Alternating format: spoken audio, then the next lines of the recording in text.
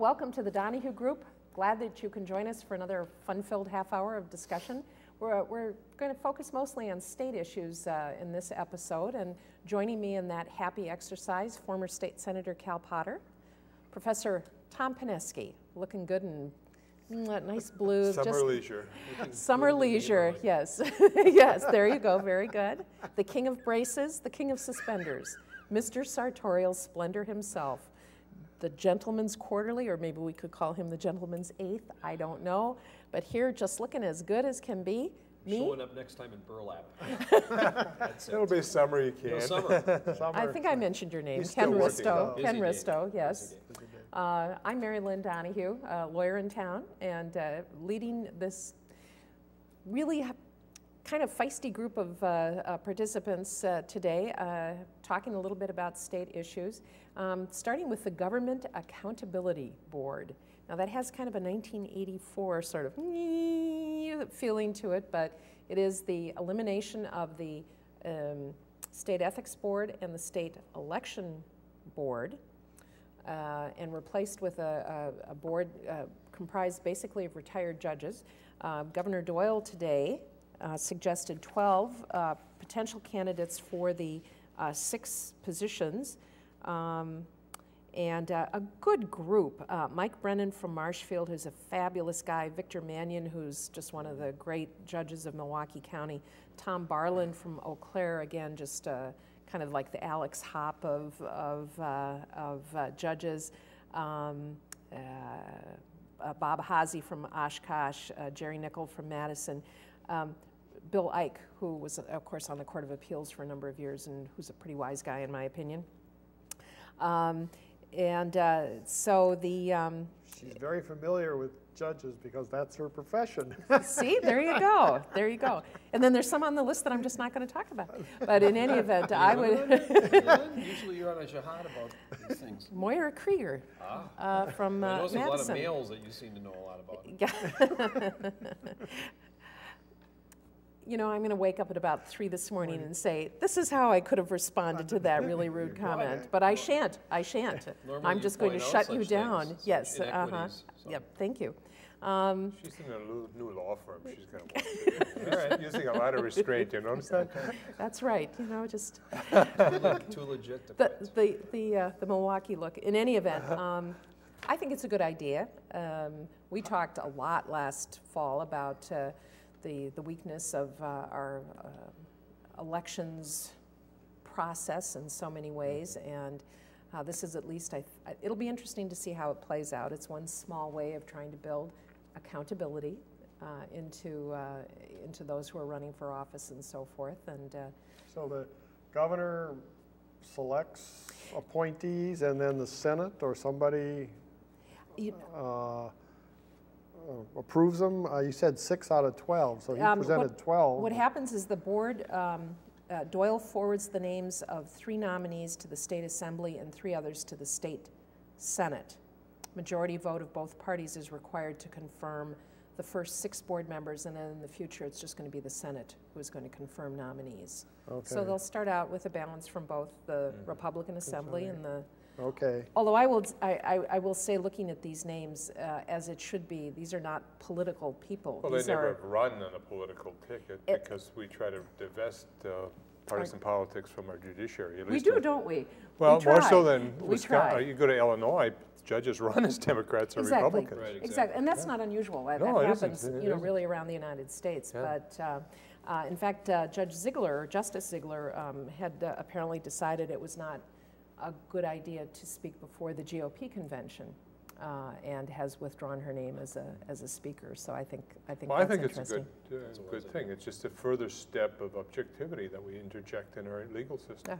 And I think putting in a panel that's now going to judge Republicans and Democrats, hopefully alike, keeping them away from the partisan label is going to be a, a, a good It's huge. start. It's huge. It's huge, That's sure. Yeah. exactly right. It's, it, that's what's going to be the real test. Is Yeah. if this is going to be the same old, same old, then folks are going to again just say, well, you know, meet the new boss, same as the old boss. Well, the But old- if this is a real independent panel that, that actually plays the role of referee or umpire, that'll be a that'll be a st- real positive step. And of forward. course, judges are used to doing that, and, and these are good folks, so I, I think it'll be interesting. That leads us, uh, uh, Justice to be Justice Ziegler, who will be um, sworn in on August 1st, um, has settled with the um, Ethics Board, the State Board of Ethics, uh, five, um, $5,000 fine and $12,000 in costs for the investigation relating to the issues that came up during her campaign. However, she still has a pending complaint with the Judicial Commission, and um, they are on no timetable, so it'll be interesting to see how that plays out. That must be feel pretty lousy to take office and really have that hanging over your head. Interestingly enough, Justice Butler, who is going to be in town for the Law Day, the bar um, honors mock trial students and so forth, uh, dinner tomorrow night, um, has already, he's up for reelection in April of 2000. Tell me what year we're in. Eight. Eight, thank you very much. Even numbers. Thank you. Um, he is, um, has uh, put together a campaign committee already and hired a, a campaign um, director. Kind of breaks your heart. I mean, there's, Sure, he's not happy about it or thrilled about having to do that, but yeah. And, uh, and his reputation is generally pretty progressive, although these folks, if you're a good judge, you, in my opinion, you find different ways of, again, the judiciary can make strange bedfellows, the people who will agree on certain issues in certain areas and not in other issues, so, uh, so it's interesting. Um, Well, just, will the judicial board that's looking at Ziegler's case make a ruling or determination prior to her taking, I know they're under no timetable, but is there any sense of when they're going to rule, prior to her taking her, the bench? That's a pretty quiet little group there, the- the Judicial Commission. All right. You don't, you don't hear much from them. And, and they are constituted solely for dealing with complaints against judges. So I they- would hope what comes out of this is a strong message to judges to start uh, taking very seriously whether they or their family members have ties to someone in the case. I think, uh, you know, while she didn't do anything illegal, I think it was very poor judgment to have a spouse sit on a, um, a bank board and then take a case that's involved. I mean, there's, there's going to be that type of inhibition, I think, in the back of somebody's mind and how you're going to rule on this. I mean, even in the legislature, we'd have people who were maybe on a bank board and we would have a bill about banking. Oh, There were legislators who would say, I'm, I'm not going to vote on this issue. I mean, they sometimes stretched it, but they, they were thinking about it. What, how does this appear? How is my judgment going to be hmm. infected by the fact that I play this role or I'm a member of this board?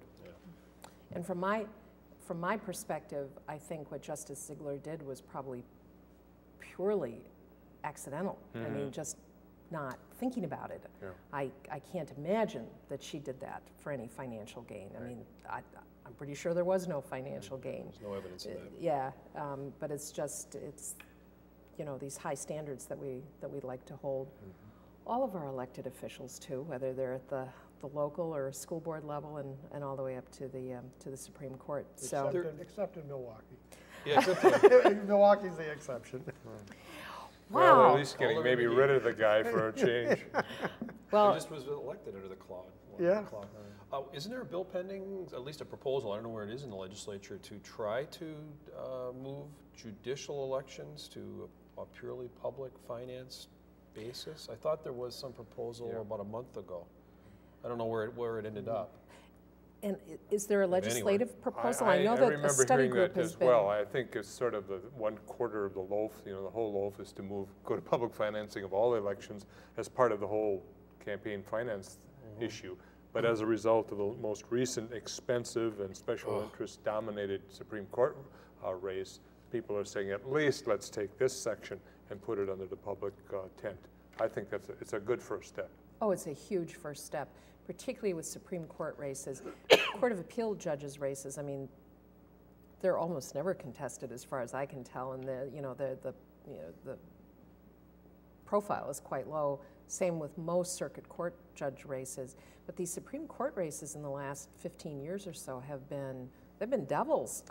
Well, they make some, I guess, some rulings that affected, uh, Sure. so, the business and, uh, industry, and so they're very concerned about Well, and you kind of rulings. And you can have cases that come up that have happened where it's not clear, where you have three out of seven justices recusing themselves because they've gotten campaign contributions of, And, and, and that's of course what they have to do, but will we get to the point where the- we will have a minority of judges ruling in a majority position because of this? So clearly, from my perspective, the very first place to start would, would be with Supreme Court races. Right. And I think we can all agree we want an independent judiciary. It's a no-brainer as far as I'm concerned. But let's talk about that next month, because I'm not sure where that, you know, I know Justice, former Justice uh, Janine Geske is involved in this group that has come together to talk about these issues, and so, and I think the Butler race potentially could be pretty, pretty ugly. So, you, you'd never know. Um, talking about ugly, Governor Doyle has proposed, he's not ugly, um, there has been an ugly battle. Boy, is that like a pinata? Oh, well, that was just sort of, oh, Okay. I- I just had a dangling participle there, and I just wanted to just, uh, you know, get that snatched up real quick. Nice Um, try. There's an, an ugly battle brewing um, about uh, Governor Doyle's um, proposed uh, oil tax. Uh, 2.5% on gross receipts of oil, gasoline sales within the state. Um, Wisconsin Manufacturers and Commerce has gone, I'm not going to say they've gone ballistic, but certainly their response has been aggressive. They're not happy. They aren't happy. Um, It's a tax. Good idea, good idea, Well, bad It's a idea? tax on business, but I don't think it's a bad business to pick on because I think the oil industry has been totally irresponsible. Um, They're making record profits, billions of dollars, and they're laughing about it. Um, I have no qualms about saying business needs to make a profit. That's what they're in business for. Sure. But when they start making billions and it's not tied to some type of uh, crisis or shortage or whatever, um, I think uh, maybe they owe the public a little bit back because they're taking money from poor people. They're taking people's money. Um, cost of doing business has gone up for every business person who has sh- ships things or delivers things or whatever reli- reliance you have on transportation. And I think the oil industry has uh, been getting a free ride here. I, I, think they ought to clean up their own act. And I, I- I don't, I don't see why Doyle should be criticized overly for this. Uh, all the all the oil industry has to do is say, um, we don't need billions in profit. We're going to cut back a bit here and be settled with or satisfied with just so much profit. But they've they've stepped over the line, I think, and Doyle is simply say, well, if you're going to take us to the cleaners the way you have, I'm going to say at least you ought to return a little bit to the public good through this tax. Well, and it's a shrewd public policy movement. N- Nobody is going to be sending va- Valentines to the you know, oil companies at this particular point when they're standing there putting three dollars and fifty cents you know, Well, for every gallon of gas. Yeah, interestingly, the um, WMC has been running ads, apparently, I have not seen them, about Doyle's budget and really targeting this oil tax. I think that there are radio ads that are run frequently, Okay, and I they, haven't heard of them. so- uh, it's not necessarily oil, I mean, that's one issue, but th- they talk about all the taxes that he has proposed about. Right. They mention about seven or eight,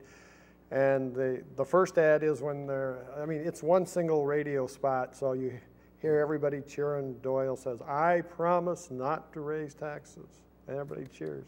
And of course, now then they say, and so after he's elected, we got this tax, this tax, this tax, this tax, they're gonna affect the poor here, and then they play that again. I promise not to raise taxes, and everybody starts heckling and laughing and giggling, and they do it two or three times, and they say, "If we knew now, what we know," you know. that, yeah, so it's their their testing is credu- uh, credulity, I guess. yeah.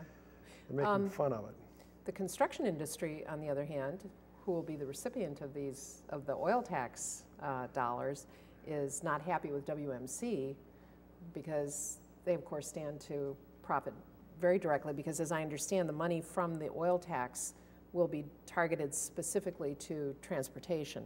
To fill the hole that was made by the uh, elimination of the index gas tax. There you go. which the Republicans in the legislature last session said uh, we needed to do away with because you didn't, the legislators did not vote on the increase that was based on construction uh, cost index. It was put in the 1980s, uh, I believe under Tony Earl. I was in the legislature at that time. Uh, It was put in. You voted on it. Well, well, it was, it was put in because no one would vote for a gas tax increase. And we had roads in this state that were in disrepair, And we also have a very, uh, well, lucrative to some extent, uh, to some municipalities, road aid um, uh, program when it comes back to towns and villages and cities to help them with their costs of road maintenance. And this fund uh, was constantly uh, short of what it ought to be. And uh, when legislators didn't vote on a gas tax increase, of course, there wasn't enough money to do all the projects that were promised to be made.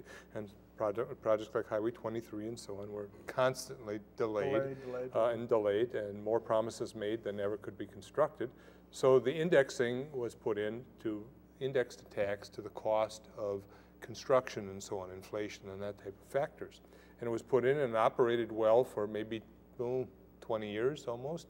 And uh, conservatives finally had their way, and now they've, they've killed the goose. And uh, there's no, I don't think, uh, interest in the legislature to vote for uh, some type of tax increase on the gas on gasoline when prices are as high. So Well, the right. governor is saying, what's the alternative? We got Highway 23. People are saying we should build that before 2013 or whatever the date is for completion. And this is happening all over the state. And so he's simply saying, well, I'll put in a certain percentage uh, gross receipts tax on oil companies, and that will get it out of the profit end of it rather than on the retail end. And so this is the alternative. Is this the same transportation fund that he used, uh, rated, if you will, to Yes, paid for me? Uh, Yes. say for you, yeah. Well, you know, he, he, he took, somehow he managed as governor to take money out of that fund to help meet the state obligation to fund When the state had the, education. the bud- budget deficit of Right. several billion, yes. Okay. Yeah, so, But it sounds a little bit like, uh, we, I, I actually voted for the wheel tax in Sheboygan uh, because of road maintenance and stuff. And then now, it's been repealed, and obviously they're not gonna put it back, and they're looking for revenue, so here, Well, a the i- similar, similar issue. You know, the, the irony of all this, uh, liberals and conservatives constantly lobby for four-lane roads. And we've built Highway 29, we've built Highway 10. You go right around the state, I people are are 'em. lobbying for Highway 23. 29 They're- is They're great. safe, but not only do they cost money to build, your increased maintenance cost is tremendous. Yes. Not only plowing, but uh, filling the potholes and doing all the other things, cutting the grass. And so you're building in an increased cost as you build more and more of these roads. And so if you continue to cut the gas tax or at least uh, take away the indexing, what are you going to do to fund this increased expenditure? And the governor's trying to face it. right, and I, I, I- one of the, one of the ways that you might look at it is there are any number of fairly large corporations in Wisconsin that pay zero income tax. Um, th- you- There's a fairly neutral, well, it's not neutral, but the Wisconsin, the Institute for Wisconsin Future, Wisconsin's Future, I think. I was just looking at their pie chart, and, and it's fairly extraordinary.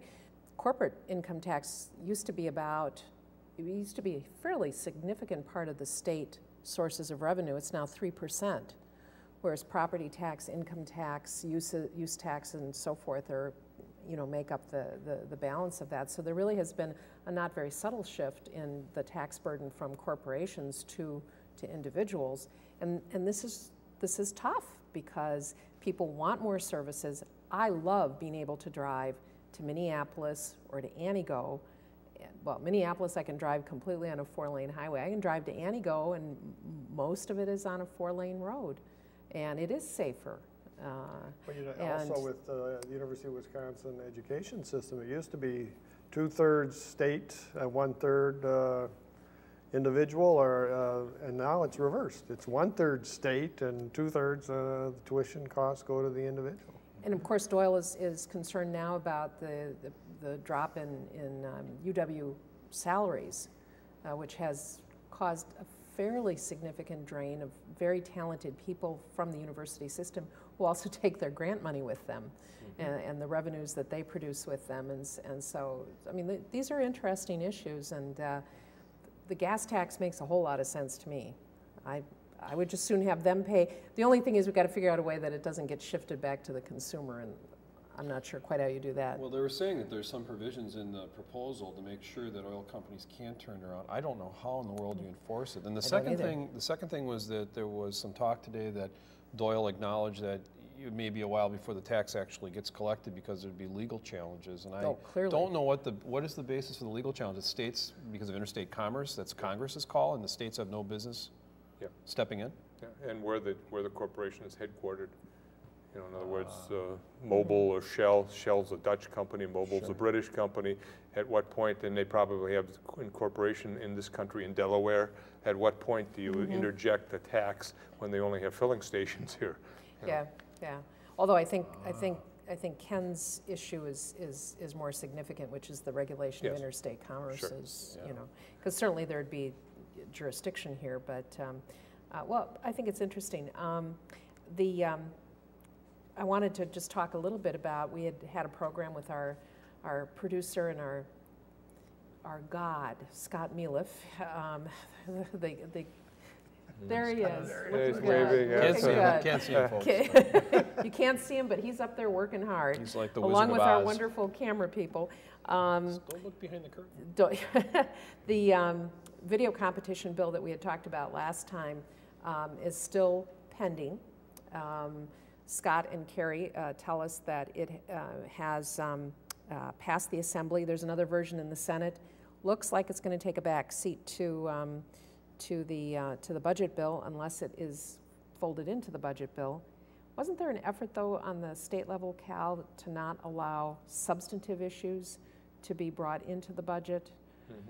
And that's It's is- debated every year, okay. but that's a matter of interpretation of what substantive is. And it's usually not so much substantive as it is financial. At what point is it sufficiently financial of a bill to be included in a budget package? Yeah. And justification is that anytime you pass anything, there is a cost somewhere. Therefore, that's why it's the only bill that probably has, everything is germane in it because something costs money someplace in the Sure. whole scenario.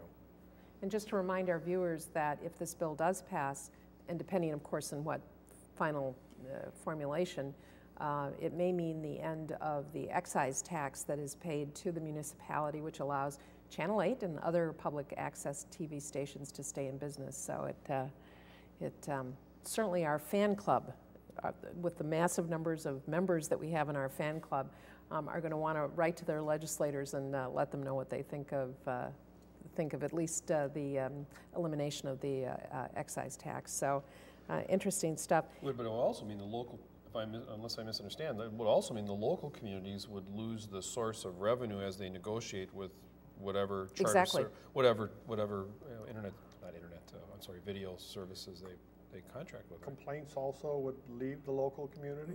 Is Right. that what I Right. understand? Yeah. So they Right. go to the state and get lost? Yeah. So this would be one more example, again, where, s- where very gradually the source of revenues for local, local government is going to be shrinking and shrinking and shrinking. The city right now gets, as I understand, and I know that Scott and Carrie both want to jump out and come down here and fill us in and get the, the straight information out, but the city makes about 400,000 or so, about 400 or, or so thousand a year, um, a good chunk of which maintains the, this wonderful TV studio, but also a good chunk of which goes into, um, into the city coffers to fill potholes and, and things like that. So, but, uh, so we'll keep you posted on, on that. Um, a recent study shows that in the last election, um, business interests outspent labor unions 12 to 1 um, uh, in terms of political contributions. Um, the, um, the gap has widened uh, in the, um, uh, the, the, the disparity was worse $30 from business interests for every $1 from unions in the 2006 race for governor. Although please understand that business people are contributing to Doyle as, as well as to Green. Well, this is most, a lot of this is independent expenditures, which Right. were not around years ago in the heyday of unions when about 40% of the workforce was unionized in Mm-hmm. 1965. Uh, they had their political action committees and so on, a lot of, uh, and you didn't have this entity called these independent expenditures. Right. Today, WMC and the realtors and you name the business group do their own little TV ads and so on. And so uh, as you add up all of those independents, you find out labor unions, which now constitute about 12% of the workforce, are not a big player in the whole scheme of things. Um, and I note, and I'm trying to find my uh, information, a bill did pass the uh, state senate, um, which would uh, require our independent um, committees to actually disclose if an ad is run within 60 days of an election, disclose the source of their contribution, their contributors, and so forth, which um, um, passed the Senate. Its future in the in the Assembly is is unknown, but uh, I thought that that was pretty interesting. Also, the Federal Election Commission real, rule, ruled recently that Mark Green's transfer of his congressional money to his state committee was okay. Oh, I didn't know that, okay. I didn't hear that either. I Yeah. didn't either. So just in my, my laborious research to make sure that I have at least Well, 10 or you for that 15 percent of what So I'm they saying over- is so they correct. overruled the state elections Yes. board. Yes, Okay. Yeah.